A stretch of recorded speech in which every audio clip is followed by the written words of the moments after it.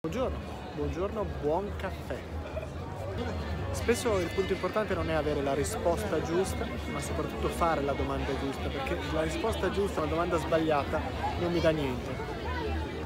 E se la difficoltà è fare le domande giuste, beh, dobbiamo chiederci che cosa rende giusta una domanda, che cosa aiuta a fare la domanda che abbia più senso, più impatto, che ci permetta di uscirne migliorati, uscirne avendo compreso qualcosa di più. Perché possiamo appunto non possedere noi tutte le risposte, ma trovare la forza per andare a cercarle, ponendo la domanda che ha la grinta, che graffia, che sa fare la differenza.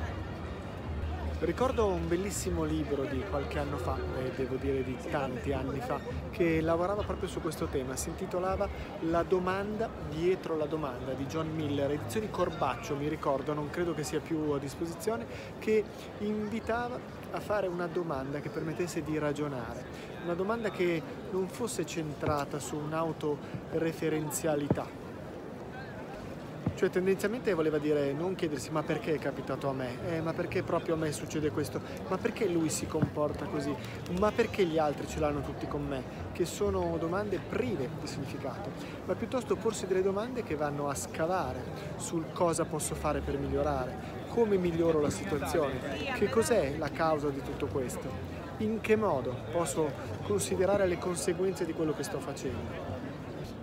A mio parere infatti troppo spesso dimentichiamo di farci le domande giuste, dimentichiamo di cercare di ragionare sulle cause. Il metodo Toyota usa il 5 perché per andare a scoprire quali sono le cause di quello che si è verificato. La TOC utilizza Tier of Constraint di Goldratt, utilizza gli alberi per ragionare e comprendere quali sono le cause. Oppure ragioniamo poco sugli effetti di quello che stiamo facendo, non ci facciamo domande su cosa può capitare a valle.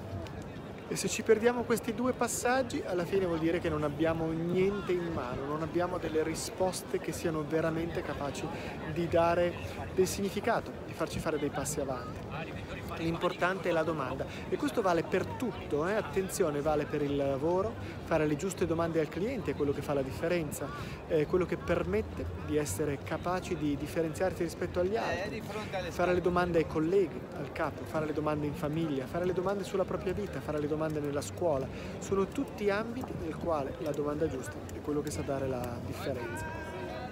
E allora per chiudere questa splendida giornata con questo splendido cielo non mi resta che chiedere a voi quali sono le domande che fanno la differenza, quali sono le domande che nella vostra esperienza sono capaci di darvi veramente qualcosa di più. Aiutateci a trovare la domanda giusta. A questo punto non mi resta che salutarvi e augurarvi buon caffè